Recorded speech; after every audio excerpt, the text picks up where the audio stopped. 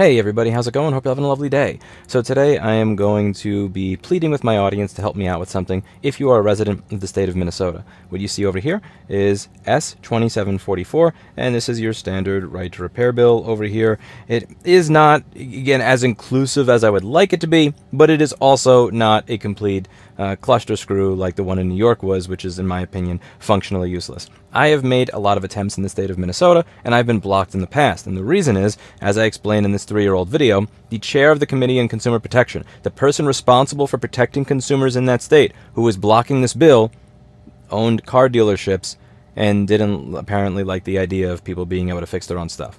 I, I, I crap you not. The person that's in charge of consumer protection is the guy who owns the car dealership. But mm, yes, that is Bizarro World, and I went over that in this video, but that is gone. He is no longer the chair of that particular committee, and since he is gone, I am hopefully not taking L's anymore, as I announced last year that I was taking L's when I was trying to get this passed. So I rehired the lobbyist that I had mm, last year, and we are actually making some good progress here. The problem is that you have a lot of trade organizations that are trying to water down the bill or get it destroyed, and I've gone over that in many videos how that happened in New York. This is a 40 minute video on how TechNet destroyed New York's right to repair bill, and here is a great article from Maddie Stone going over the very specific documents that goes over. Why is there a fucking pop up when I'm not even talking about climate? Like, Jesus Christ, what is obnoxious websites these days. Anyway, it's a very good article in spite of the garbage website that is hosting it. Uh, but this is a very, very good article that goes over all of the ways in which TechNet destroyed this right to repair bill with very specific documents. And what I'm asking, pleading, and let's just be real, I'll be honest with you, begging all of you to do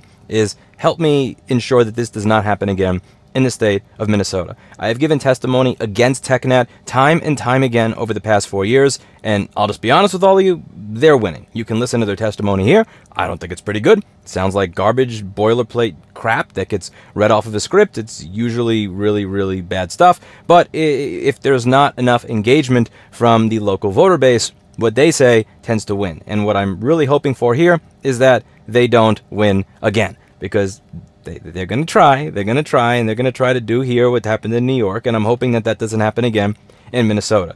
Uh, this bill is not as inclusive as I would like it to be. I would have preferred that it included more stuff, but one of the approaches that I'm taking here is, you know, in some states we'll have an agricultural only bill, medical only over here, consumer electronics over here, because the attempt to just have a broad right to repair for everything has too much opposition, so we have been trying to decrease the amount of opposition on a particular bill by decreasing the scope of it. However, if this passes as is, while not a perfect bill, would actually be a right to repair bill for a number of different electronics, which is more than I can say for the garbage that passed in New York State.